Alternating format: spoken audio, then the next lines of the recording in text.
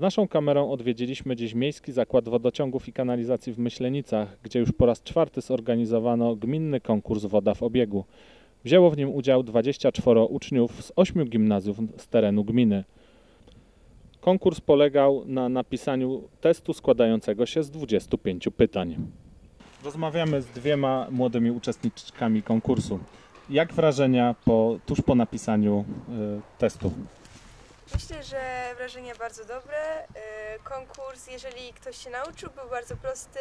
E, Pytania były bardzo dobrze sformułowane i myślę, że każdy ma szansę e, osiągnąć dużą ilość punktów. Czy któreś z pytań sprawiło szczególną trudność? O chorobę Minamata. Czyli? No właśnie nie wiadomo, to znaczy podobno wywołuje ją rtęć. Ale nie byłam pewna. A które pytania były y, trudniejsze? Te otwarte czy testowe? Myślę, że te otwarte były trudniejsze, bo e, w zamkniętych było kilka odpowiedzi. Jeżeli się miało jakieś wątpliwości, to można było wykreślić te, które, e, które nie były pewne, a przy otwartych trzeba po prostu było już to, co się myślało, napisać samemu. Liczysz na zwycięstwo? Ja liczę na to, żeby pani była z nas dumna, pani, która nas przygotowywała.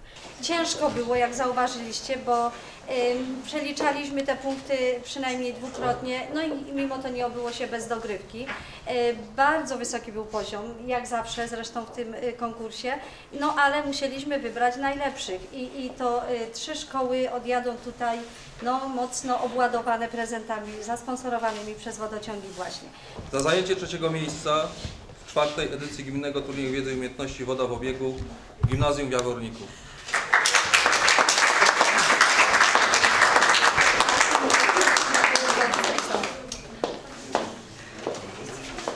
Musimy za gimnazjum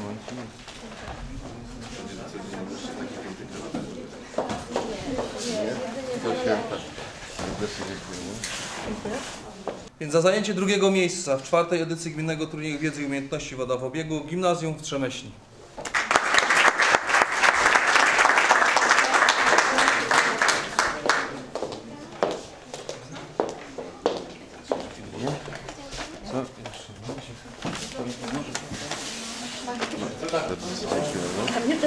I Szanowni Państwo, za zajęcie pierwszego miejsca w czwartej edycji Gminnego Turnieju Wiedzy i Umiejętności Woda w Obiegu Gimnazjum nr 3 w Myślenicach serdecznie gratuluję.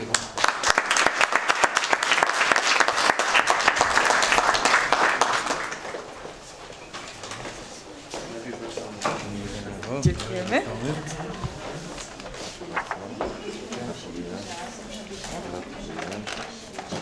Serdecznie gratuluję. Dziękujemy bardzo. Proszę Państwa, rzeczywiście dosłownie dwa słowa. Y, Pan burmistrz y, Ostrowski dał radę Ci być obecny z Państwem tutaj. Obiecał, że za rok będzie, bo na pewno będą organizowane takie przyjemności, nie tylko w postaci rozdania nagród, ale też, też zawodów. Proszę Państwa, no tu na pewno nie ma przegranych. Wszyscy Państwo jesteście y, wygrani. To, że uczestniczyliście tych zawodach jest naprawdę bardzo fajną sprawą, y, w szczególności dla edukacji ekolo- ekologicznej, którą również Gmina Myślenica jest zobowiązana prowadzić. Pan prezes rzeczywiście przygotował bardzo, bardzo okazałe nagrody, co myślę, że będzie, y, będzie jakby propozycją dla tych szkół, które nie przystąpiły do konkursu już w przyszłym roku. Serdecznie Państwu gratuluję, ale przede wszystkim y, bardzo chcielibyśmy podziękować opiekunom, bo to przede wszystkim Państwa jest inicjatywa to, że Państwo zachęciliście młodzież do tego, żeby brali udział, przygotowali się na dzisiejsze zawody. Serdecznie dziękujemy i zapraszamy w przyszłym roku. Są coraz trudniejsze pytania, muszę Państwu powiedzieć. I w tym roku również one były trudniejsze niż poprzednio, ale jestem zszokowany, bo dwie szkoły prawie na maksa napisały y, ten test.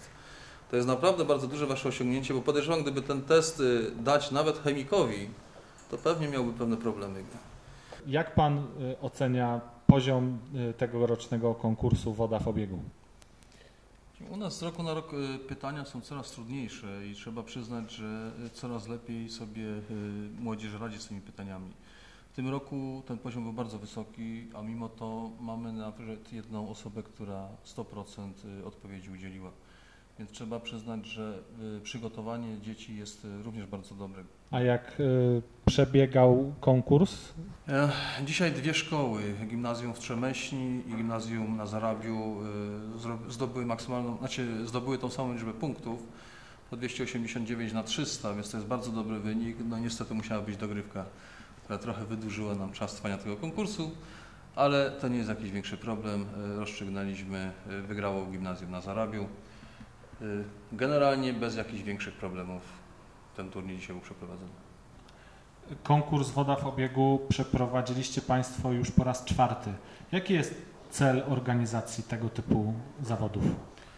Głównym celem tego turnieju jest propagowanie wśród dzieci i młodzieży y, wiedzy na temat y, tego, jak ważna jest woda w naszym życiu codziennym. Jak ważne jest to, żeby tą wodę oszczędzać, nie zużywać lekkomyślnie, uświadomić y, dzieciom i młodzieży, y, jak tej wody rzeczywiście mamy mało, jeżeli chodzi o zasoby w stosunku do innych krajów, jak również y, uświadomić, że istnieje taki zakład jak Miejski Zakład Wodociągów i Kanalizacji, który wykonuje pewne zadania i z tymi zadaniami również y, dzieci i młodzież chcemy zapoznać. I jakie nagrody ufundowaliście dla najlepszych y, w tegorocznym konkursie? Y, Jak zawsze są trzy nagrody y, za pierwsze, drugie, trzecie miejsce dla szkoły, no i y, dla y, dzieci i młodzieży, które te nagrody y, zdobyły. W tym roku za pierwsze miejsce dla szkoły to był laptop z rzutnikiem, za drugie miejsce telewizor, za trzecie miejsce takie urządzenie wielofunkcyjne. Natomiast jeżeli chodzi o młodzież, to za pierwsze miejsce były to aparaty, za drugie miejsce były magnetofony, natomiast za, za trzecie miejsce były to MP3. A czy przewidujecie Państwo w przyszłym roku również piątą edycję tego konkursu? Mm, Tak, ten turniej będzie kontynuowany również w przyszłym roku. E, Proszę na koniec powiedzieć, e, jakie Miejski Zakład Wodociągów i Kanalizacji w Myślenicach ma plany inwestycyjne na najbliższą przyszłość? Planów mamy bardzo dużo, dlatego że w najbliższym czasie planujemy rozpocząć bardzo duże zadanie, jakim jest y, modernizacja i rozbudowa ujęcia wody w Myślenicach. To zadanie będzie finansowane przez gminę Myślenice. Poza tym zakład będzie finansował dwa inne zadania, jaką jest termomodernizacja wszystkich swoich obiektów, a także modernizacja i rozbudowa oczyszczalni ścieków w Myślenicach etap drugi. Tam będziemy wykonywać stację dozowania metanolu i rozbudowywać budynek krat. A oprócz tego idzie rozbudowa e, kanalizacji w ramach programu Czysta Woda dla Krakowa, y, wykonywanego przez Gminę Myślenicką, ale również mamy w planie e, zrobić kiedyś próg na rzece Rabie, mamy również wybudować e, zbiornik w Bogoczowie, zbiornik na Bożęcie. Także tych planów mamy bardzo dużo i one są coraz realniejsze. Czyli czystej wody w Myślenicach nie zabraknie. Ja myślę, że na najbliższe 30 lat, jeżeli skończymy te inwestycje, będziemy mieli, nie będziemy musieli inwestować w gospodarkę wodociekową na tym terenie. Dziękujemy bardzo. Rozmawialiśmy z prezesem Miejskiego Zakładu Wodociągów i Kanalizacji Andrzejem Urbańskim. Dziękuję.